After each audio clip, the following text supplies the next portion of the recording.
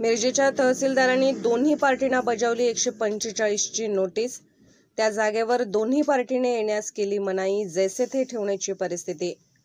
काल ब्रह्मानंद पडळकर यांनी मध्यरात्री मिरजेतील मिळकतीचे केलेल्या पाडकामाच्या पार्श्वभूमीवर मिरज तहसीलदारांनी एकशे पंचेचाळीसची जैसे ते परिस्थिती ठेवण्याची नोटीस या नागरिकांना दिली आहे. त्यामुळे हे नागरिक प्रचंड आक्रमक झाले असून मिळकतदार जागेवर नसल्याने त्यांनी नोटीस घेण्यास नकार दिला आहे. तर पडळकर बंधूंच्या दबावाखाली प्रशासन एकतर्फी कारवाई करत असल्याचा नागरिकांनी आरोप केला आहे. मिरजेतील घर दुकान पाडले जातात. प्रशासन किंवा शासनातील कोण जागेवर येत नाही. मात्र रविवार सुट्टीचा दिवस असताना सुद्धा एकतर्फी नोटीस काढल्याचा आरोप नागरिकांनी केला आहे. लोकांची घरे पाडली असताना ती परत दुरुस्त करू नये यासाठी अशी नोटीस काढली असल्याचा आरोप करण्यात येत आहे.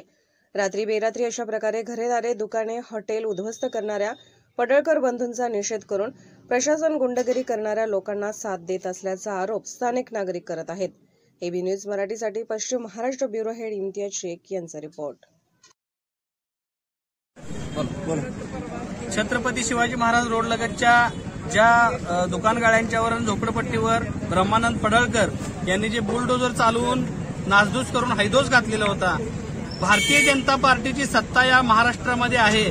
आणि सत्तेचा वापर आम्ही कसा करू शकतो त्याचा दाखवण्याचा हा दुसरा प्रत्यय म्हणजे आज रविवार आहे काल शनिवार होता. आज रविवार असताना सुद्धा महसूल प्रशासनानं एकशे पंचेचाळीसची वन फोर्टी फायची नोटीस या मिळकतधारकांना ज्यांची दुकानं तोडल्यात त्यांना द्यायला बजवायला यांची धड- धडपड सुरू आहे. आम्ही आज या महाराष्ट्रामध्ये न्याय कुणाला मागायचा हा प्रश्न निर्माण झालेला आहे. भारतीय जनता पार्टीचा उपमुख्यमंत्री गृहमंत्री मुख्यमंत्री सुद्धा त्यांचाच. पण न्याय मागायला लोकांनी सर्व मिरजकरांनी आता रस्त्यावर उतरायचं का? शेवटी आमच्या पुढे आता दुसरा कुठला पर्याय नाही. वन फोर्टी फायची नोटीस एक नायब तहसीलदार हा देतो आणि तो सांगतो की जैसे ते परिस्थिती ठेवा आणि उद्या सकाळी मिटिंग झाल्यानंतर तुमचं करा. मला या महसूल प्रशासनाला विचारायचं होतं की काल एवढी पहाटे दोन वाजता पडझड केली हल्ला केला तोडफोड केली बुलडोजर लावले. ते झाल्यानंतर महसूल प्रशासनाचे किती वरिष्ठ अधिकारी या ठिकाणी येऊन त्यांनी भेट दिली?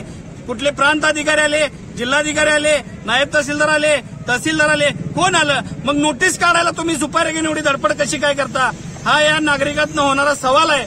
मी त्याच्याबरोबरच पालकमंत्री सुरेश खाडेंचा निषेध आणि धिक्कार करतो. पालकमंत्री सुरेश खाडे मिरजेचे आमदार असून काल ही घटना घडलेली असताना एक मिनिट सुद्धा त्यांनी या ठिकाणी भेट दिली नाही. म्हणजे पालकमंत्र्यांचाच हात या घटनेमागे आहे. मी जाहीरपणे सांगतो पालकमंत्र्यांची संमती असल्याशिवाय गोपीचंद पडळकर आणि त्यांचा भाऊ ब्रह्मानंद पडळकर असं धाडसच करू शकत नाही. पालकमंत्र्यांनी अजून सुद्धा मी आवाहन करतो तरी त्यांची भूमिका स्पष्ट करावी आणि पोलिसांना आवाहन करावं किंवा आदेश द्यावेत की चाललेली चुकीची कारवाई थांबवा.